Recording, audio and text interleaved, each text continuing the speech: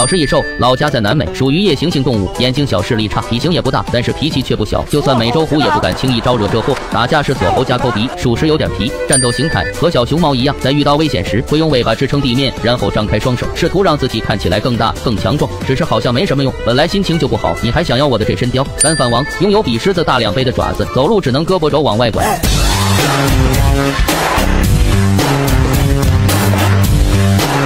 锋利的爪子能轻松捣毁蚂蚁的巢穴，每天要吃九千只蚂蚁。为了吃蚂蚁，这货能走三公里，几乎一天啥也不干，就忙着干饭。防御手段，在遇到危险时，这货身体的臭腺还会释放臭味，以此赶跑入侵者。臭味的威力是臭鼬的四倍，号称森林里的小臭鬼。黑色背心，为了防止食蚁兽宝宝受到伤害，食蚁兽妈妈会把幼崽驮在背上。如果你想耍个酷，就要穿上背带裤，出门还要妈妈驮，就像心爱的小摩托。只是大哥，这大夏天的穿个黑色背心，你不热吗？这样一只可爱的小吃货，你爱了吗？